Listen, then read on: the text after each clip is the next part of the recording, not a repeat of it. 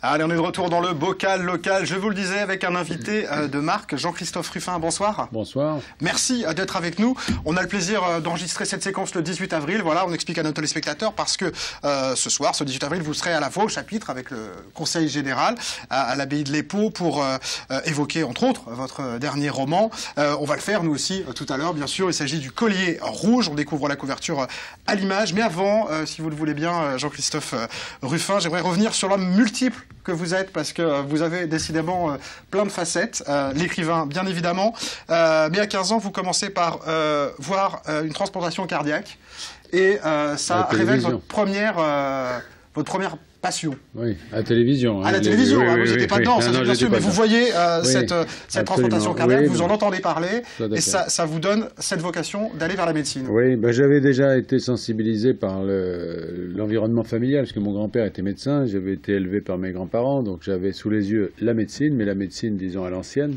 Et puis là, avec l'épopée Barnard, la transplantation cardiaque, etc., eh bien, la médecine rejoignait les choses les plus modernes et tout. Et c'est vrai qu'à l'époque, c'était le moment du choix, hein, et j'ai fait le choix de faire ces études médicales. Et vous êtes devenu médecin Et je suis devenu médecin, voilà. voilà. C'est vrai qu'on peut... Je suis pas devenu chirurgien, en revanche, mais je suis devenu médecin. Et c'était, c'était euh, voilà, cette épopée, c'est un terme important que vous utilisez. C'est-à-dire qu'il y avait une vraie aventure à l'époque en médecine. Il y a eu une aventure, oui. C'est, ben, c'est-à-dire que c'est comme ça qu'on pouvait le concevoir vu d'extérieur. Euh, d'ailleurs, c'était, c'était vrai. C'est-à-dire que les risques qui étaient pris, les... il faut visiter aujourd'hui au Cap, quand on va dans la ville du Cap, en Afrique du Sud, on peut visiter le bloc opératoire de Barnard fallait avoir le moral pour se faire changer le cœur avec des instruments pareils. Hein. C'était encore très très rudimentaire. C'était une vraie, vraie, euh, voilà, c'était vraiment aventureux. Bon, ça vous a marqué en tout cas, mais vous avez euh, dérivé, croisé les deux, hein, et mm. vous êtes parti vers l'humanitaire. Ça, c'est un peu la, deuxième mamelle. Euh, mais Médecins sans frontières, Croix-Rouge française, donc vous avez croisé les deux univers là. Oui, parce que c'était une autre aventure, si vous voulez. L'aventure technique, moi, m'a fait rêver à un moment donné, mais c'est vrai qu'après, quand j'ai commencé à pratiquer dans les hôpitaux, euh, ça ne me satisfaisait pas tout à fait. Moi, je voyais la médecine comme une discipline plus littéraire, comme c'était à l'époque de mon grand-père, et puis une discipline d'engagement. Que, et je trouvais que voilà, l'humanitaire que j'ai rencontré au moment où vraiment ça a démarré, puisque c'était le début de Médecins sans frontières, euh, m'a offert d'une certaine façon un champ d'action qui était beaucoup plus large, plus en prise avec euh, l'actualité, le monde, et une médecine moins technique, hein, parce que la médecine humanitaire n'est pas très technique, mais très, euh, très variée, très engagée, puis il fallait la créer, puisque ces organisations n'existaient pas. Hein. Voilà. Et donc je me suis lancé dans cette aventure-là, ça a été celle de ma vie finalement, et de ma génération, et puis, ben, vous connaissez la suite, prix Nobel pour Médecins sans frontières, etc. C'est un succès énorme pour ces organisations. Et, donc, euh, une, considérable, je vais dire, expérience de vie hein, à travers elle. Et Action contre la faim aussi, parce que là vous avez été bah, le président, toujours le président d'honneur. Oui. Euh, quel souvenir de, ces années d'Action contre la faim? Bah, Je l'ai vu naître, Action contre la faim. Ensuite, effectivement, j'en ai occupé diverses fonctions. J'ai été président de cette ONG, je continue à la suivre. C'est le même, euh, le même groupe. Hein. Vous savez, ce sont des, euh, il y a trois, quatre très grosses ONG comme ça en France, très efficaces, très professionnelles maintenant, euh, peut-être trop même d'ailleurs, puisque disons que l'aspect pionnier a un petit peu disparu. Maintenant, ce sont vraiment des, institutions. Euh, ça, a été, ça a été passionnant et je continue à, être très proche d'eux, bien sûr. Bon, alors comme euh, ça ne vous suffisait pas, vous êtes allé faire un tour du côté de la politique euh, avec François Léotard. Vous avez été ambassadeur euh, de la France. Euh, vous êtes aussi engagé en 2012, par exemple, pour Martine Aubry pour les présidentielles. Comme je le disais, ça vous suffisait pas Il fallait encore autre chose? Non, c'est pas ça. C'est que si vous voulez, cette génération, enfin la mienne, qui ces pionniers de l'humanitaire, beaucoup ont fait vraiment de la politique. Hein, Kouchner, Maluret, Manueli, etc.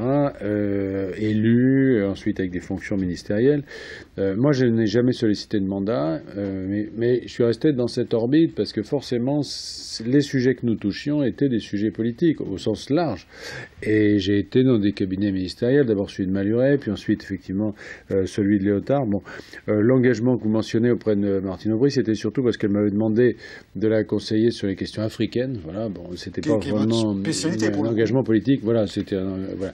Et puis j'ai été en effet, j'ai occupé des fonctions, alors là plus plus diplomatique. Hein, j'étais attaché culturel au Brésil, et en effet ambassadeur de France au Sénégal. C'est un petit peu euh, la caractéristique de ces French doctors, si vous voulez, de ces pionniers euh, qui ensuite sont passés hein, soit à la politique directe, soit effectivement à des fonctions qui euh, étaient liées à, l'action publique au sens large. En effet, c'est un certain profil, vous le disiez tout à l'heure, de, de cette génération. Voilà, c'est un parcours. C'est un parcours qui va du terrain à un engagement plus, plus construit, je dirais, de, euh, notamment sur les questions de développement, sur les questions africaines, sur les questions de rapport euh, nord-sud, etc., qui, sont devenus, euh, enfin, auxquels on a apporté, je crois, un regard un peu différent, parce qu'on venait d'ailleurs, on avait une autre expérience, et tout naturellement, on s'est trouvé engagé là-dedans. Bon. En tout cas, euh, vous avez aussi euh, évidemment euh, bercé, pardon, baigné dans la littérature.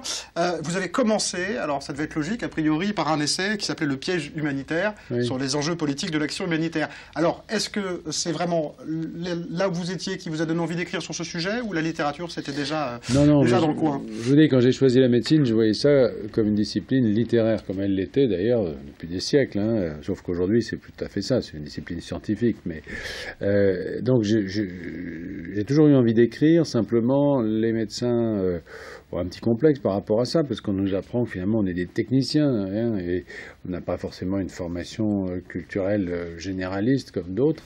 Donc quand j'ai voulu commencer à écrire, bah, j'ai commencé par des sujets au plus près de mon expérience, d'où des essais tirés de l'expérience directe de l'humanitaire ou des questions internationales. Puis petit à petit, je me suis rendu compte que ça ne me satisfaisait pas et je suis passé au roman. Et vous êtes passé au roman, et comme vous le disiez tout à l'heure, vous parliez de grands succès pour euh, les, organismes dont on parlait, mais grands succès pour vous, parce que bah, le premier, L'Abyssin, c'est un prix Goncourt du premier roman, mmh. donc vous avez commencé fort. Euh, mmh. vous avez suivi avec Rouge Brésil le prix Goncourt en 2001. Mmh. Euh, justement, est-ce que c'est important pour vous les prix? Est-ce que ça vous ennuie si moi je ressors ces romans-là parmi les autres Non, pas du tout, pas du tout, parce que les prix, je suis très reconnaissant à ces prix, ne venant pas du milieu, n'étant pas du, du, tout du sérail. je veux dire, ces prix m'ont permis de voyager non pas en passager clandestin comme je le faisais avant, mais avec un, ticket, même un ticket de première, si vous voulez, voilà. Et, je crois qu'on les critique beaucoup, ces prix, il n'y a pas de formule magique, euh, on trouve que les jurys, voilà, les choses sont faussées, euh, les jurys vieillissent, ou alors il faut des jurys de lecteurs. Bon, il n'y a pas de solution miracle, mais le fait est que ces grands prix, en particulier le prix Goncourt, euh, qui est un peu un phénomène unique hein, en France, euh, il n'y a pas, l'équivalent à l'étranger, est capable de vous propulser, euh, et un auteur comme moi qui n'avait pas le moyen, si vous voulez, de, vraiment d'avoir accès au grand public, bah là, tout à coup, si vous voulez, ça a été un immense succès, et voilà, ça vous permet de vous installer dans un autre métier. C'est important quand on en a un autre, parce que quitter la médecine, ou en tout cas avoir un parcours parallèle à la médecine, euh, il faut quelque chose d'assez puissant parce que la médecine, ça vous prend beaucoup. Donc il faut vraiment avoir un, deux pieds. Ben, grâce au Goncourt, je je les ai eus. Vous avez pu, ça vous a en tout cas permis ça. Euh, on va parler bien sûr maintenant ben, voilà, de votre dernier ouvrage, Le Collier Rouge, qui sort aux éditions euh, Gallimard. Alors est-ce qu'on peut présenter un peu la trame? Voilà, on est au lendemain de la guerre 14-18 dans le Berry. Oui, c'est un, c'est un, c'est un petit c'est un huis clos euh, euh, qui est tiré de, l'histoire que m'a raconté un ami euh, qui malheureusement est décédé, à qui j'ai dédié le livre parce que c'était l'histoire de son grand-père. Alors je la raconte pas parce que c'est la clé du livre, mais tout ce qu'on peut dire, c'est qu'il y a dans l'affaire un chien. Il s'agit d'un prisonnier, un type qui est revenu de la guerre de 14, décoré de la Légion d'honneur, donc a priori un héros, mais ce héros est en prison. Il est en prison parce qu'il a commis un acte, justement, qui est euh, un affront à l'honneur de la patrie, etc. C'est bizarre, il y a un juge qui vient, qui essaie de comprendre pourquoi ce héros de la guerre, tout à coup, est là. Devant la prison, il y a un chien, son chien, qui aboie, qui crie. C'est un chien qui l'a suivi pendant toute la guerre. Et puis, euh, à côté, dans un village à côté, il y a une, la femme qu'il aime et, auquel euh, on va comprendre enfin, quels sont les fils qui les, qui les relient. Voilà, c'est le huis clos. Il y a ce triptyque plus simple, puisqu'en fait, le, chien est vraiment, évidemment, au cœur de, l'histoire. C'est un personnage à part entière.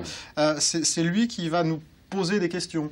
Oui, parce qu'en fait, c'est un livre, si vous voulez, sur ce qui questionne la notion d'héroïsme, de fidélité, de loyauté, tout ça sont des vertus magnifiques, sont les vertus guerrières, mais c'est aussi des vertus animales.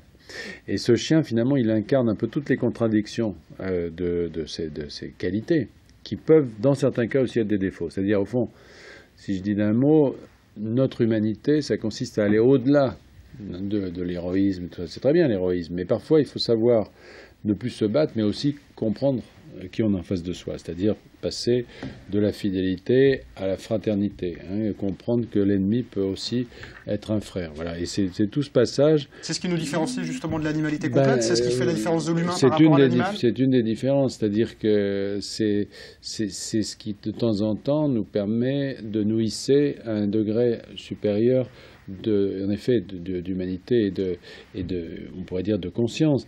Euh, L'Europe a, connu tragiquement cette, ce passage, c'est-à-dire pendant des années, euh, on était condamné à l'héroïsme, c'est-à-dire qu'on avait des ennemis et puis il fallait les combattre le plus héroïquement possible. Très bien. Le jour où on est passé à la fraternisation, c'est-à-dire à la construction de l'Europe, au fait qu'on n'est plus en face d'un ennemi, mais de quelqu'un avec qui on peut construire et d'une certaine façon vivre, ben, on est devenu, je pense, plus humain. Et en tout cas, on a quitté le domaine de la guerre. Voilà, c'est pas, c'est le thème du livre et qu'il aborde à travers un personnage, parce que moi j'aime bien incarner tout ça. J'aime pas les idées abstraites, j'aime bien les incarner, que les, lecteurs le découvrent comme ça dans des dialogues, dans des personnages, et notamment dans le personnage de ce chien. Euh, ce choix du huis clos, euh, c'est un pourquoi? Pourquoi c'est venu euh? Bah, euh, si, vous voulez, je, voulais au départ écrire une pièce de théâtre, en fait, pour tout vous dire, parce que j'avais, je, trouvais qu'il y avait tous les éléments d'unité, de lieu, de temps, etc., d'action, comme on disait dans le théâtre classique. Bon, simplement, je ne sais pas faire ça. J'ai déjà fait pas mal de métiers. alors, j'ai fait celui que je connaissais. voilà, donc voilà, donc c'est pas, je n'ai pas appris à en faire un supplémentaire. J'ai fait ce que je savais à peu près faire, c'est-à-dire, je l'ai placé sous, sous l'angle et avec le style romanesque. Mais au fond, c'est un, c'est un, c'est une pièce de théâtre. C'est-à-dire que je, voyais ces personnages faire émerger entre eux, comme ça, on pourrait presque n'avoir que des dialogues, si vous voulez. Hein. Euh, la guerre, notamment, n'est pas abordée en tant que telle. C'est-à-dire, c'est pas une description de la guerre. Moi, je pense qu'on ne peut pas. C'est un peu indécent. Euh, en 2014 de, faire une description, nous, de la guerre de 14. Je pense qu'on ne peut pas. Il y a eu des très très grands écrivains, Dorgelès, euh, euh Giono, Sandrars qui ont vécu la guerre de 14 et qui ont écrit dessus. Je crois qu'il n'y a rien à ajouter. C'est un peu, un peu prétentieux de notre part de, parler à leur place. En revanche, les personnages évoquent leur guerre parce qu'ils ont des, des, souvenirs. Et là, on se situe après. Et après la guerre, bah, c'est notre monde. C'est notre monde qui naît à ce moment-là. Hein. On dit que le siècle, le XXe siècle a commencé en 1919. C'est vrai. C'est-à-dire que euh, ce dont la guerre de 14 a accouché, bah, c'est de notre monde. Voilà. Et, cette transition. Et ça, on peut en parler en, place, c'est en avant dans, cet ouvrage. Vous lisiez tout à l'heure au tout début un petit livre, euh, parce qu'en effet, il fait un peu moins de 140 pages. Euh, alors je vous cite de manière approximative, mais je l'ai lu, vous disiez que voilà, si ça mérite 140 pages, il faut le faire en 140 pages, c'est ça l'idée aussi? Oui, parce que j'ai fait souvent de gros livres. Euh, c'est l'histoire qui commande en réalité.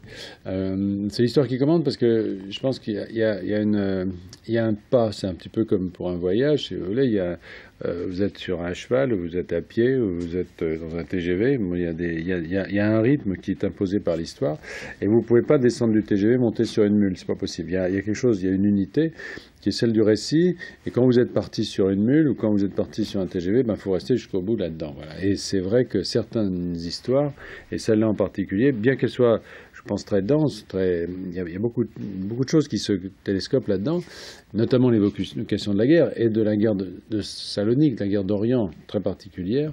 Euh, tout ça devait être fait au rythme d'un dialogue, ou tout au moins d'une confrontation de théâtre. Voilà, c'est-à-dire la durée d'une pièce de théâtre, au fond. Bon, bien merci Jean-Christophe Ruffin. On arrive à, la fin de cet entretien. Euh, je rappelle donc euh, ce livre, Le Collier Rouge, aux éditions euh, Gallimard. Déjà un grand succès dans ce que j'ai pu lire, en tout cas sur Internet. Ça plaît, énormément. bonne soirée donc à la voix au chapitre et en Sarthe. moi, je vous retrouve bien sûr la semaine prochaine parce que ça sera encore moi. Julien Sénéchal va céder sa place pour deux numéros dans le bocal local. Je vous souhaite à tous une très bonne fin de soirée sur LMTV.